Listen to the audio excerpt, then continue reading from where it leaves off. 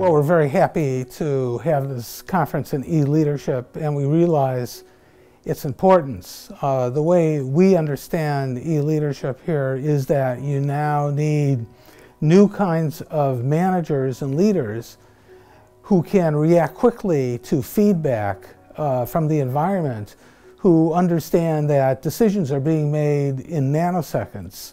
And therefore you need leaders who have the confidence and the ability and the knowledge uh, to react almost in spontaneously to important decisions that need to be made. We moved to the age when just everyone, everywhere, anytime, real time, used the internet related information and knowledge in the daily life.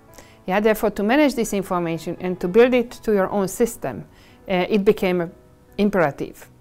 Uh, therefore, the e-leaders are those who can combine the traditional managerial skills with with the management of the information coming from the ICT world. Today, when you talk about ICT, you often say ICT sectors and ICT intensive sectors. And that means that the ICT nowadays is equally important in healthcare, education or production. Earlier it was just more ICT to itself. And if you're going to have ICT in, in those other societal sectors, industrial sectors, you really need to have a new type of leadership. An e-leader is a person who is at first IT savvy, so he has got a very good knowledge and understanding of what they can do with uh, the newest and latest technologies.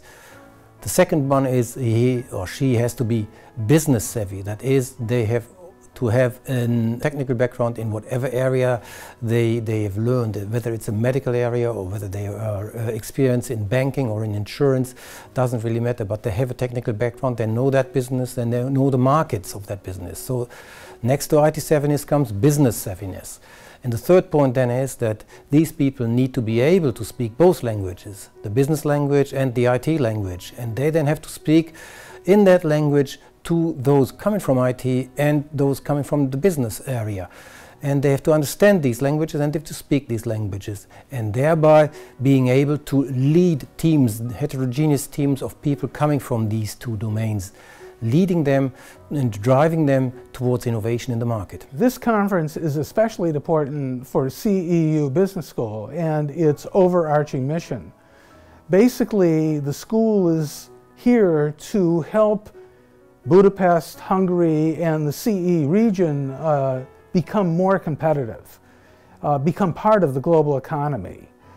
We are here to jumpstart this region, and we believe that ICT in particular have a key role to play in that, that we can leverage the talent, creativity, and knowledge and education of the citizens of this region, which involve IT in particular, they need to become e-leaders themselves. And by doing so, we can make this region very, very important in the global economy.